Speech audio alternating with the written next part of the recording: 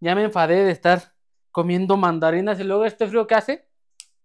Y si nos hacemos un atolito, pues vamos a darle, porque este frío no deja en paz a uno. Que te duelen los huesos, que todo y todo. Mandarina sin hueso, bien dulcecita, mira. Puedes agregar los gajos a la licuadora y molerlos. Tengo un pequeño casito que me regalé, bueno, me regaló mi mamá, o no se lo entregué. Vamos a ponerle un poco de sal de grano y jugo de limón. Este nos va a servir para limpiar el caso. Y aquí le echas con todo. Y se va poniendo color rosita.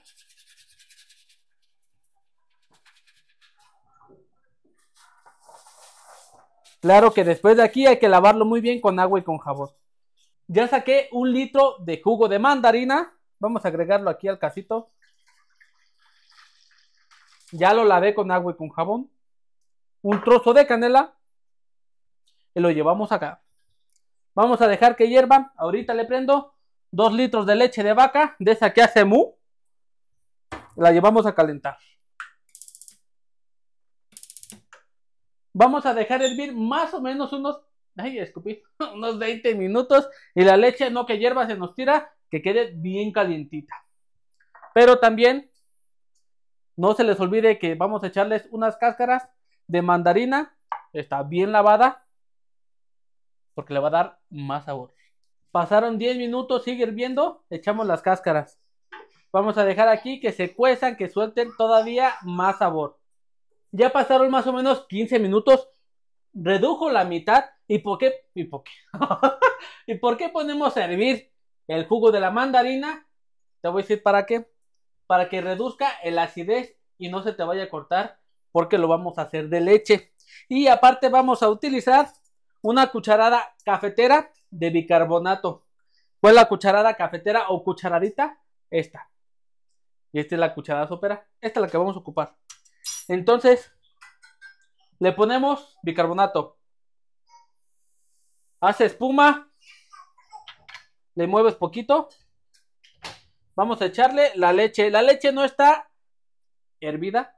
Simplemente está bien caliente. Vamos echando y vamos moviendo. Vamos echando y vamos moviendo.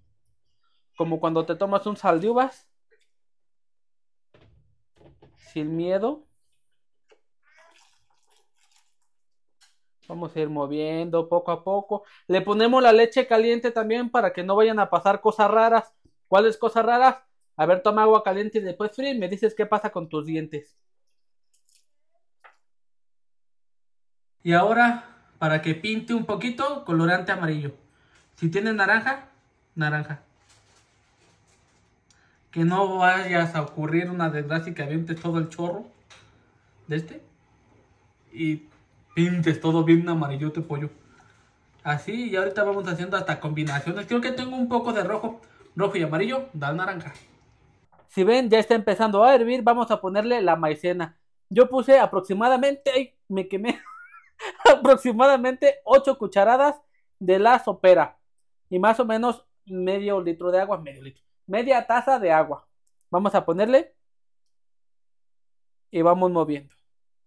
¿Para qué nos va a servir esto? Para espesar el atole. Un poquito más. Y vamos a dejar que siga hirviendo y va a ir espesando. Ya tú decides qué tan espeso lo vas a dejar.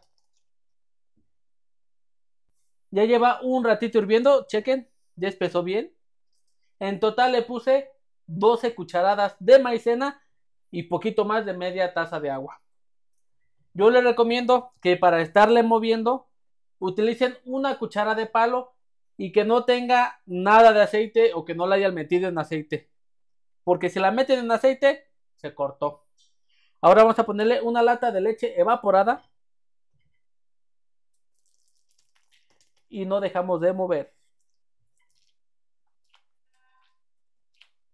Y un poquito, o bueno, al gusto, azúcar. Así, y ahorita vamos probando porque estaba muy dulce la mandarina. Y vamos a dejarlo que hierva un ratito este atole y vamos a quitar de aquí. Vean. Y ahora sí, aquí tengo mi taza. Tengo unas un poquito más grandes, pero como es poquito, los dejo sin atole de mandarina. Y vean, el atole no se corta nada, por lo mismo que se tiene que poner a hervir. En este caso, la fruta o la acidez cuando es con leche. Y el bicarbonato, que va a ayudar a que no se corte.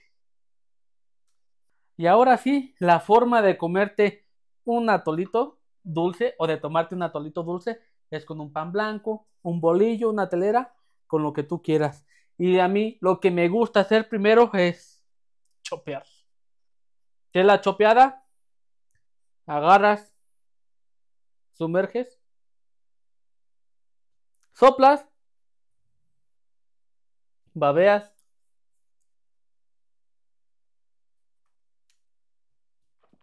Mm. Mm.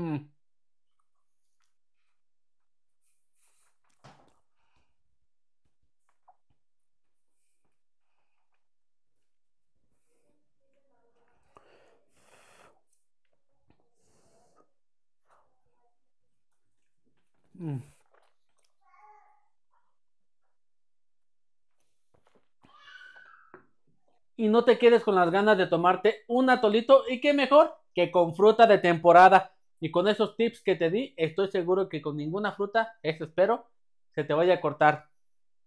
Salud. provecho. No te vayas a pasar de bicarbonato porque luego lo puedes amargar. Así que ponte pilas y nos vemos en el siguiente video. Hasta luego.